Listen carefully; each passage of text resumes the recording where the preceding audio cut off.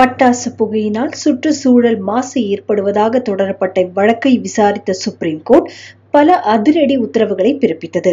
தீபாவளி அன்று இரண்டு மணி நேரம் மட்டுமே பட்டாசு வெடிக்க வேண்டும். பட்டாசு வெடிப்பதால் காற்று மாசுபடுவது குறித்து போதுமான விழிப்புணர்வு ஏற்படுத்த வேண்டும்.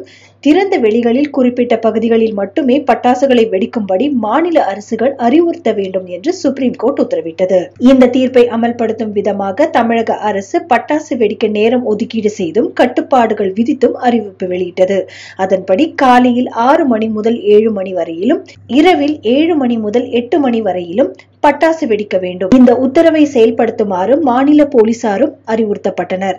இதையடுத்து மாநகர போலீஸ் கமிஷனர்கள் மாவட்ட போலீஸ் சூப்பரண்டுகள் தங்கள் பகுதிகளில் பட்டாசு வெடிக்கும் நேரம் கட்டுப்பாடுகள் குறித்தும் தனித்தனியே பொதுமக்களுக்கு எச்சரிக்கை விடுத்தனர். இந்த உத்தரவை மீறுவோருக்கு ஆறு மாதம் ஜெயில் தண்டனை அல்லது ரூபாய் ஆயிரம் அபராதம் அல்லது இரண்டும் சேர்த்து விதிக்க சட்டத்தில் இடம் உள்ளது என்றும் போலீசார் தெரிவித்தனர். ஆனால் இந்த உத்தரவை மீறும் வகையில் தமிழ்நாடு முழுவதும் பல இடங்களில் பட்டாசுகள் வெடிக்கப்பட்டன. எங்காவது ஒரு இடத்தில் பட்டாசு வெடிக்கும் சத்தம் விட்டுவிட்டு இருபத்தி நான்கு மணி நேரமும் கேட்டுக்கொண்டேதான் இருந்தது. சென்னையில் பல பகுதிகளில் நள்ளிரவிலும் அதிகாலையிலும் சிலர் பட்டாசு வெடித்தனர்.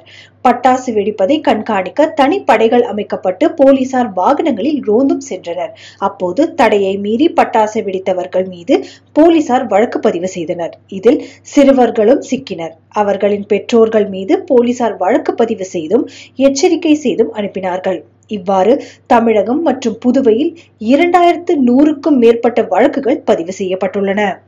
யூடியூப் ஆப்பில் மாலை மலர்னு டைப் பண்ணுங்க. அப்படியே சப்ஸ்கிரைப் பண்ணுங்க. பண்ண உடனே பெல் ஐக்கானை கிளிக் பண்ணுங்க. நவ் இன்ஸ்டன்ட் அப்டேட்ஸை பார்த்து என்ஜாய் பண்ணுங்க.